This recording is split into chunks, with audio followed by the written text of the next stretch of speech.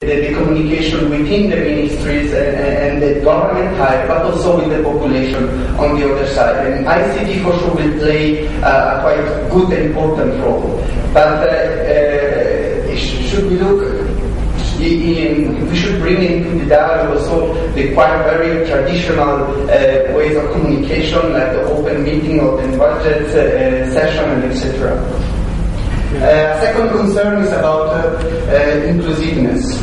Uh, for sure, um, in, in, the, in the current situation, the most marginalized group, they, they have not the skills nor the capacities to access even, even a cell phone. And, um, and uh, fostering the introduction of ICT without looking into issues might uh, increase the, the, marginalization of, of, of, some groups. And, and when I focus on groups, it's still uh, a, a, very big share of the population in, in rural areas. Um, the, I think the point on, on uh, the, the value added of, of different uh, kind of uh, uh on, on displays and providing information uh, are quite clear. Uh, more, more challenging how the information can be collected. again, especially in, in, the rural areas and, and the lower government layers. And finally, on the on the capacity from, from the bureaucracy side, I think that has been already covered with, with the potential of BAR, the ANAG, etc. And uh, I must say that um, we see improvement uh, in, at DACA level, and uh, in, in, especially in the ministries that I'm dealing with. But uh, there is still a great potential in, in basic use of emails and and and, uh, and web, and uh, I think it's there is a, also a mindset that is required at all levels, also in the government and the population, to, to really introduce a, a good ICT uh, system. Thank you.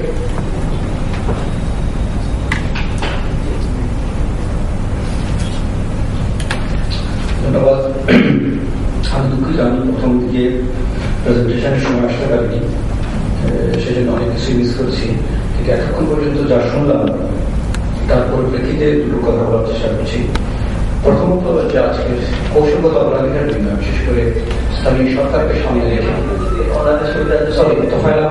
আমি এখন টিভিতে local government কাজ করছি।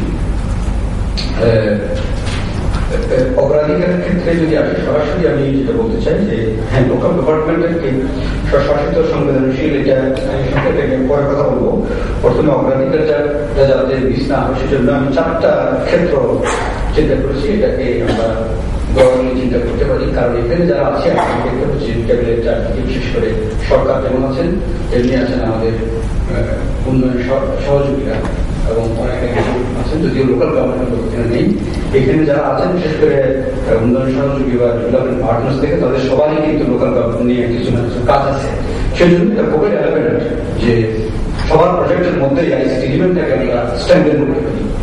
সেজন্য আমি বলব, চারটে এরিয়াতে বলে আমরা দেখতে পাই একটা হচ্ছে স্থায়ী সরকার প্রতিষ্ঠানগুলো, নিজস্ব কাজকর্মগুলোকে সবার স্বচ্ছন্দ, দ্রুত, ব্যয়, সাশ্রয়ী করার ক্ষেত্রে আইসিটিটা কীভাবে কোথায় প্রয়োগ করব? এটা একটা এরিয়া এটা সিটি কর্পোরেশন, এটা পৌরসভা, এটা উপজেলা পরিষদ, জেলা পরিষদ, ইউনিয়ন পরিষদ। সবার নিজস্ব কাজে আইসিটি ব্যবহারটা আমরা কীভাবে করাতে পারি? তারা এখন যেটা টাইপ করছেন হাতে লিখছেন বা যে ইনফরমেশনটা ম্যানুয়ালি দিচ্ছেন সেটা কীভাবে ডিজিটাইজ করতে পারে? যে বার্থ রেজিস্ট্রেশন ডেথ রেজিস্ট্রেশন থেকে আরম্ভ অনেকগুলো জিনিস নিজস্ব কাজগুলো তাদের নিজস্ব কালেকশনগুলো, তাদের বাজেটগুলো, তাদের ডিসবার্সমেন্টগুলো, তাদের প্রজেক্টগুলো, এগুলোর ক্ষেত্রে আমরা আইসিটি ব্যবহারটা কীভাবে বাড়াতে পারি, সেটা একটা দিক। আরেকটা দিক হতে পারে, ওই অধিক্ষেত্রের মধ্যে সরকারের সংস্থাগুলো কাজ করছে, তাদের সাথে সংযোগ সমন্বয়ের ক্ষেত্রে আইসিটিরা কি হেল্প করতে পারে? এক্ষেত্রে এটাকে লিঙ্ক করে দেওয়া যেমন health education law and order police. যে পুলিশের কাছে একটা জিডি করবে। একটা ইউনিয়ন পরিষদের ওখান থেকে এই জিডিটা করার মতো এখন কিন্তু সুযোগ আছে। সেই ক্ষেত্রে এই জিনিসটা আমরা লিঙ্ক করতে পারি কিনা? আচ্ছা এটা সেকেন্ড একটা হতে পারে থার্ড হচ্ছে ভোক্তা বা নাগরিক পর্যায়ে আইসিটি ব্যবহারের ক্ষেত্রে সমস্যা। কারণ আমি আইসিটি কয়েকটা কম্পিউটার দিয়ে দিলেই কিন্তু দিয়ে দিলেই হচ্ছে। মানুষের মধ্যে তার ইনফরমেশন নেওয়া, আগ্রহ ব্যবহারের যে পাওয়া যায়। অ্যাভেলেবল এই ইনফরমেশন না থাকলে এবং এটা বিস্তার না হলে কিন্তু এটাও কিন্তু খুব সাপ্লাই ড্রিভেন হয়ে যাবে এবং খুব বেশি ব্যবহার হবে না। অনেক ক্ষেত্রে তাই হচ্ছে। এবং আমরা যখন প্রথম সরকারি অফিসগুলোতে যখন কম্পিউটারাইজেশন হয়েছিল, যা হয়েছিল গেছে এটা খুব ঢেকে ঢুকে অফিসের পাশে রেখে দেওয়া হয় এবং এসি না লাগলে কম্পিউটার লাগাতে যাবে এরকম বহু রকম মিসকনসেপশন ছিল। এটা এখন ভেঙে গেছে। মিথ এখন ভেঙে গেছে এখন কিন্তু অনেকটা সরকারি অফিসে এবং অন্যান্য সরকারি ব্যবসায়ী এটা হচ্ছে। কিন্তু আমাদের বিশেষ করে গ্রাম পর্যায়ে এটা এখন ওই রকমের চাহিদা সৃষ্টি হয়নি ইনফরমেশনের চাহিদা। যতই আমরা রাইট ইনফরমেশনের কথা বলি কিন্তু ওই চাহিদা কিন্তু নিচের দিকে হয়নি আর ইউনিয়ন পরিষদ থেকে তো চাহিদা ইনফরমেশনটা পাওয়া যায়? এটাও কিন্তু লিমিটেড সেই জন্য আমরা হয়তো বসে অনেক ভাবছি। কিন্তু আসলে ওখানকার জিনিসটা বোঝা দরকার। সেজন্য ওই পর্যায়ে, এটা কি করা যায়? ধারণ হচ্ছে যে এলটিআই গুলো নিজেরাই একটা সার্ভিস ডেলিভারি দেওয়া হিসেবে আইসিটি সার্ভিস ডেলিভারিটা ওখান থেকে তারাও দিতে পারে। একটা লোক প্রাইভেট একজনের কাছে যেতে পারতো প্রাইভেট পাবলিক পার্টনারশিপ এখানে কাগজের মধ্যে বলা আছে। প্রাইভেট পাবলিক পার্টনারশিপে কিন্তু লোকাল গভর্নমেন্টের কলাবোরেশনে প্রাইভেট সেক্টর দিয়ে কিন্তু আইসিটি সেন্টার করা হয়েছে পর্যায়ে পৌরসভা পর্যায়ে সুতরাং এই ক্ষেত্রে তারাও একটা সার্ভিস প্রোভাইডার হতে পারে।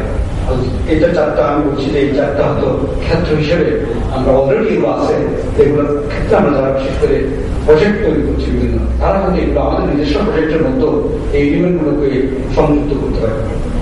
এবার আমি আসছি অন্য একটা প্রশ্নে, যেটা হচ্ছে আমার কাছে সবচেয়ে বড় প্রশ্ন, যেটা সেটা হচ্ছে যে, এখন যে আমরা বলছি স্বশাসিত, সংবেদনশীল, স্থানীয় সরকার, এটা আসলে কি স্বশাসিত? এটা তো শাসিত। প্রথম আপনি লোকাল গভর্নমেন্টে যত করছেন, আমরা যত করছি, এটাকে একটা আইডিয়ালাইজ করছি। রোমান্টিক একটা রোমান্টিসিজম মানে আর লোকাল গভর্নমেন্ট বলে একদম রোমান্টিক হয়ে পড়ে জনগণের অংশগ্রহণ থেকে আরও করে কি না মানে করি, এগুলো সব আরোপিত যেমন আমাদের অনেক লোকাল গভর্নমেন্ট এক্সপার্ট হয় এটাও আরোপিত আমি কোনো বলে লোকাল গভর্নমেন্ট এক্সপার্ট এটা কিন্তু আরোপিত ঠিক একই রকম লোকাল গভর্নমেন্টকে নিয়েও কিন্তু আমরা এক ধরনের রোমান্টিসিজমে ভুগছি। আসলে কি এটা না, এটা কেন্দ্র না, এটা কেউ শাসন করে না। এটা একটা নিজস্ব স্টাইল চলে। এটা কি জিনিসটা আসলে এটা সংবেদনশীল। এটা তো সম্বুদ্ধ কারণ সংবেদনশীলতার প্রশ্নই তো আসছে আর এটা কি আসলে সরকার? আমি তো মনে করি এটা one of of the government এখন যেভাবে কাজ করছে এটা নিজস্ব সরকার না এটা।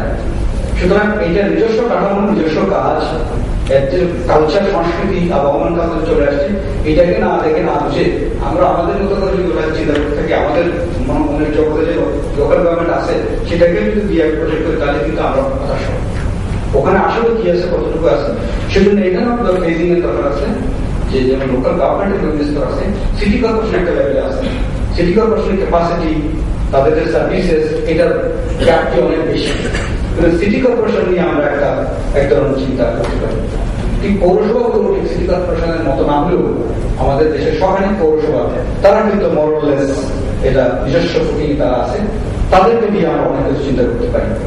ঠিক একই রকম ভাবে আসলে জেলা পরিষদ, জেলা পরিষদের কাঠামো আছে, কিন্তু কন্টেন্ট নেই। এটা কোনো ইলেকটেড বডিও নেই, এটা কোনো কিছু, এটা এটা কোথায় জানি না, এটা চলে আসছে সুতরাং এটা নিয়ে ভাবতে হবে। কিন্তু এখন যদি এটা হয়তো কাজ করার মতো উপযুক্ত জায়গা না হলেও এটা হয়তো এক সময় করে উঠবে। না হলেও জেলা কিন্তু টোটাল গভর্নমেন্টাল সিস্টেমের মধ্যে সবচেয়ে মাঠ প্রশাসনের সবচেয়ে গুরুত্বপূর্ণ স্তর। সুতরাং ওখানে কোনো একটা কোঅর্ডিনেটিং পয়েন্টে সার্ভিস বা এগুলোর একটা কোনো না কোনো একটা দরকার। এখন জেলা বলতে আমরা যা বুঝি এটা একটা একটা ভৌগোলিক সীমা। জেলা প্রশাসন বলতে যা কিন্তু আবার খণ্ডিত এরা কিন্তু সবকিছু করতে পারছে না। সার্ভিসেসগুলো কিন্তু আলাদা আলাদা আলাদা হয়ে গেছে। তো এইখানে আমরা কীভাবে এটা সমন্বিত করব? ICT one of the instruments যেটা শুরু করতে পারে এই কাজটা। যেমন ল্যান্ড শুধু যদি আমরা ওই কাভার করতে